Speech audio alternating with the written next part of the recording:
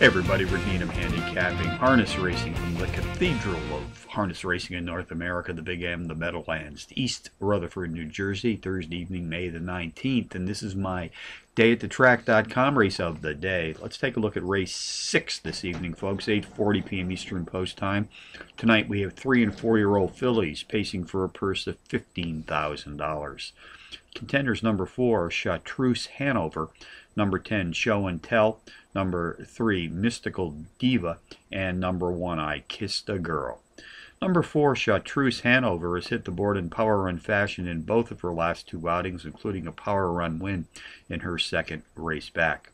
One of North America's leading drivers, Mr. Tim Tetrick, guides her to the rolling gate this evening. Tetrick has recorded a stellar positive .328 universal driver's rating in the last 12 months, one of the best in this field tonight. Number 10, Show and Tell, racing on Lasix for the second time tonight, has hit the board in power run fashion in two of her last three starts.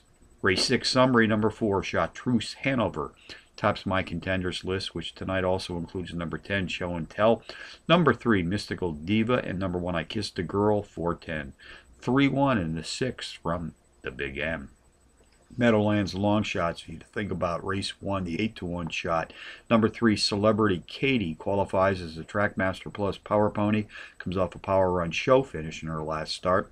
Race two, number six, Midas Blue Chip, both the overall speed and class profile leader in this pacing field tonight.